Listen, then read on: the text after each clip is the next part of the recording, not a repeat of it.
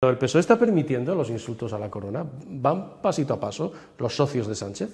Hombre, los socios de, de Sánchez no van pasito a pasito, van dando zancadas, evidentemente. Contra la corona también. Contra, contra, todas las instituciones del Estado, porque ellos lo que quieren no es, eh, ellos tienen un objetivo y para ellos la ruptura de nuestro modelo de convivencia es su objetivo. ¿Eso incluye la monarquía? Evidentemente, eso incluye la monarquía e incluye todo tipo de instituciones. ¿Y el PSOE y Sánchez es consciente de ello? Yo creo que Sánchez no tiene principios. El PSOE permite los insultos y las descalificaciones eh, de los socios a la corona, como ha ocurrido en el Congreso estos días. Los ha permitido sin ningún tipo de rubor, ¿no? ¿Imagina al rey firmando la ley de amnistía, o como le llamen, después de su discurso del 3 de octubre?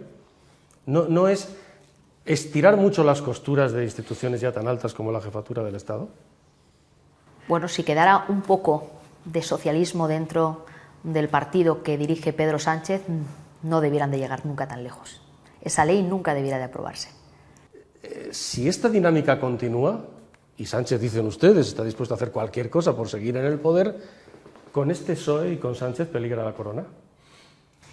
Bueno, yo creo que lo que al final eh, España también ha demostrado que tiene unas instituciones fuertes y Pedro Sánchez no debiera de equivocarse.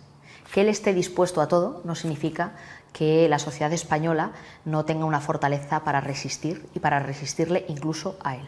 Pero si sigue esta dinámica.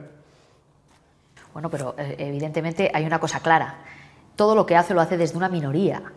Y cualquier cambio que él quisiera impulsar necesita una mayoría parlamentaria que no tiene, porque los españoles no se la han dado. Luego, por tanto, los españoles han puesto límites a lo que él puede hacer.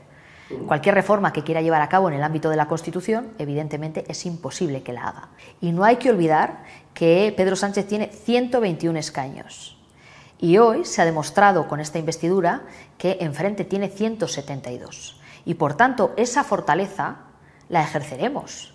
Y eso hará que esto sea un freno, un dique a cualquier cuestión que se quiera plantear que afecte al marco constitucional. Esto le debiera de llevar a Pedro Sánchez a replantearse qué tipo de socios tiene.